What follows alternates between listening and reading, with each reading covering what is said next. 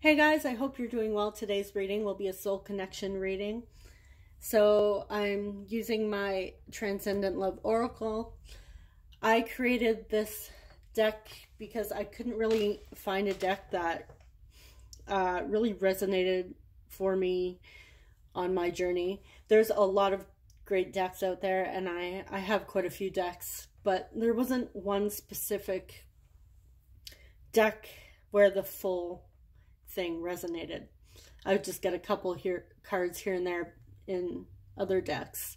And I've seen other creators on YouTube create their own decks, and I thought that was just a cool idea. So let's see what energies are currently influencing uh, this connection. So I pre-shuffled my decks already. So we're just going to pull some cards. Okay, so we currently have winter. This is the surrounding energy or influence. So where I am, we're in winter. The season we're in is winter. Now, winter is also related to a time of a period of rest. So it could be the two of you are in a resting state at this time. So I'm just going to get these out of the way and we're going to go into the tarot. And we're going to see your person's past energy towards you. And if I happen to see any other messages come up as I go along, I may get back to winter. But for me, winter is all about resting, hibernation, really taking some time out to grow. Okay, so your person's past energy towards you. We have the Knight of Cups. So they could have really wanted to put in an effort with with you in the past. They could have felt this connection automatically and really wanted to express their emotions to you. They could have been a little shy and perhaps didn't know how to give you that cup of love, but they were willing to offer it to you. So let's see your past energy towards your person. Ooh. so we have the Five of Pentacles. So that's interesting. So we have somebody here that wants to express emotions and you were feeling a sense of loss. So, an abandonment. In the past, it could have been, hmm, you could have been dealing with some other sort of experience at the time where you were focusing on something you had lost. So you weren't really accepting your person's offering. See, we see here these people aren't facing this knight here. They're turned away. So it could have been they were wanting to offer you their cup, their support, um, and really connect with you, but you weren't really feeling it at that time. You were focusing on your loss at that moment. So let's see your person's current energy towards you. We have the Ten of Swords in reverse. Okay, so the Ten of Swords is usually a card about betrayal. We have it in reverse here. So your person could be doing a lot of purging from any um, past hurts or resentments that they have had. And they're really trying to transform their lives and be a healthier, better person. So let's see your current energy towards them. Okay, so we have temperance in reverse. So you're feeling uh, out of balance with this connection and very impatient. It could be whatever this was that your person had to deal with. It's left you feeling impatient, like you don't want to wait around for whatever it is they're dealing with. So let's see what this uh, Ten of Swords has to do with. What does this Ten of Swords in reverse have to do with? Okay, so we have the six six of swords. So yeah, they're definitely letting go of any past hurts or betrayals. So they are really trying to grow as a person and let go of any any old wounds and traumas, anything that's coming up for them. They're really trying to move on from that. Okay. And why are you getting impatient? Okay, so we have the Eight of Wands here. So you really you're getting impatient because you want you want this to move forward. It may not be moving at a pace that you um, imagined. So now you're starting to get impatient. And this really reminds me, I think it was yesterday's reading, a lot of these cards came up I could be mistaken, but this, this message seems very familiar to me. So let's see any current challenges or lessons you guys are facing. Okay, so we have the Seven of Cups in reverse.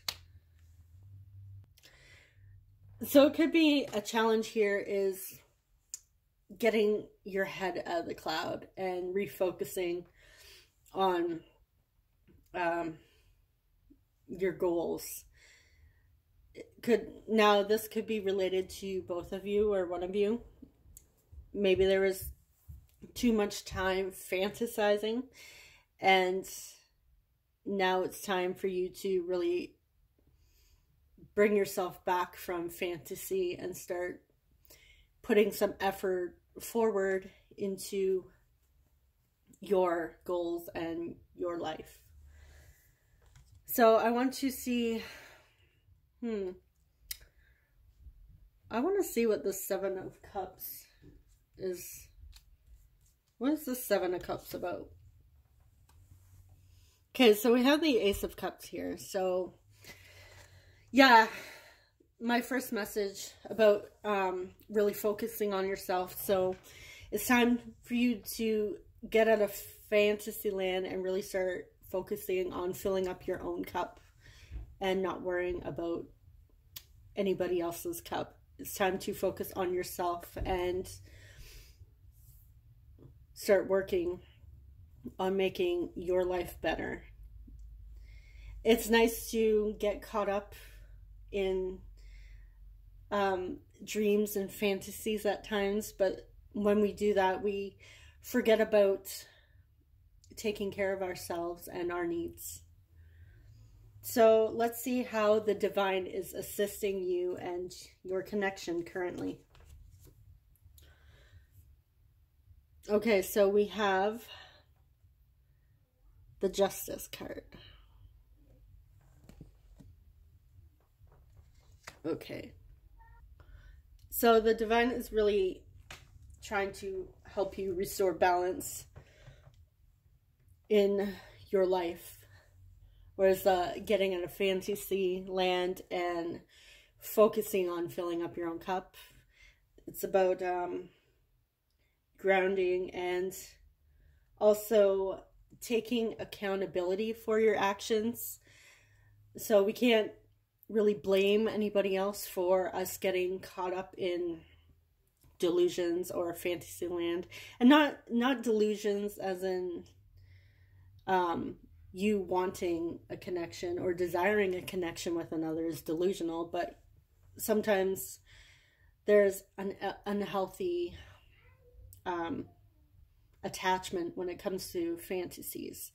So we need to restore balance at times and bring ourselves back. So, what are some next steps you can take during this challenge? Okay, so we have the Nine of Pentacles. So the Nine of Pentacles is really is really about focusing on tending to your own garden and taking care of your needs. We have the Ace of Cups there behind this. Oh, let me just bring that out. So we have the Ace of Cups behind this, which is all about filling up your own cup of love and really taking care of yourself and nurturing yourself. And then we have the Nine of Pentacles, which is also about indulging yourself and really taking care of yourself. Could be your finances or uh, your physical world, um, taking care of your house, taking care of uh, family. So there's the inner with the emotions, and then we have the outer with the pentacles. Another message I'm seeing here is that when we take care of ourselves and fill up our own cup, we see the results in our physical world. So, um, as above, so below, as within, so without. So, our inner world is reflected in our outer world. Let's see if there's anything currently keeping you stuck from attaining this um, Nine of Pentacles here. Now, the Ten of Pentacles is total um, completion when it comes to our physical world. So we have the Three of Wands. So this is what may be preventing you from moving forward at this time. Sorry, I just bumped my camera. So the Three of Wands is all about progression and persistence. So it may be that um, there could be, see, he's looking off into the distance here. So this may be related to looking too far ahead. I'm seeing this as a looking more towards the future rather than focusing on right now, but we are going to see what other messages come up with this. So we have the Five of Cups in reverse there could be a need for somebody here to walk away from any fantasies or visions they may have had for the future. Um, there may be some some goals that they have had and maybe now is not the right time so they have to walk away from that currently it doesn't it doesn't mean that you can't achieve it it just may mean that currently now is not the right time or maybe you're placing too much attention on that goal and you may need to just take a step back and just walk away and focus on other things in the moment. So let's see any possible outcomes between this connection and then I may grab some messages if I can find my deck. If not, we'll see. If I can't find my deck, then it wasn't meant to be. So let's see. What is the possible outcome for this connection? Okay. So we have the Eight of Pentacles in reverse. Sorry, I just bumped that again. So the Eight of Pentacles in reverse is somebody who... Somebody here may be a perfectionist. And currently with this card, I am not seeing um, the two of you connecting on a on a deep level. Oh, it sucks that I say that. I'm sorry.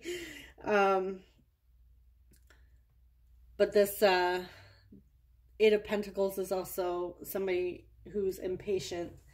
So somebody here is is getting impatient. So the outcome is uh, let's get another card to see why is why is impatience or why is the eight of pentacles here in reverse okay so we have strength in reverse so could be that this is taking a lot of effort and somebody just doesn't have the strength and the energy to put effort into this connection. They may be feeling it's too impatient waiting on this. So, um, that's where this taking care of yourself and filling up your own cup comes in. So, based on this reading, the outcome is it seems like it's stuck and it's it may be time to take a pause from the connection and just focus on yourself. So I want to get into some messages. Just give me one moment to find my deck. Where did I put you? Okay, I know I have it around here somewhere. Ah, okay, I found it. So, another thing I'm seeing now with this winter card coming up, um, and like I said earlier in the beginning of the reading, winter is all about a time of resting and taking care of oneself. So I'm definitely seeing this theme with uh, with this connection where it's time to maybe time to take a pause and really just focus focus on yourself. So what does your person want you to know? What message do they have for you? I also created this cute little deck here. Love messages. Okay, so what does your person want you to know? And yes, I may at some point, if I'm going to make the other available for purchase, I will also make this available for purchase. So, are you able to forgive me? Just popped out. So, this may be related to the impatience you were feeling um, in the beginning. Um, they want to they want to know if you are able to forgive them. It could be they have taken a lot of time to really focus on themselves, so this may have caused you some hurt and resentments and you may be feeling that impatience. So I'm seeing this as it's not personal. And they didn't mean to hurt you. Okay, let's get a couple more. I'm sorry I lied to you. Hmm. Okay. So it could have been here. Maybe somebody said they were ready and they weren't. They weren't ready. So your person may not have been fully honest with something in this connection and now they're asking if you're able to forgive them. So let's get one last message I know by the time I figure this out, you may not be available. Hmm. So yeah, somebody here, your person, uh, maybe wanting to take a pause here and work on filling up their own cup and work on them, working on themselves and their own journey. And they know that you're not to wait around for them. And we should never wait around for anybody. We should focus on ourselves. And when things if things are meant to be they will be. When it's time to come back together if it's time to come back together and reconnect with this person it will happen. So anyways this is all i have for you guys today. I hope you enjoyed this reading and i will see you guys in the next one. Take care.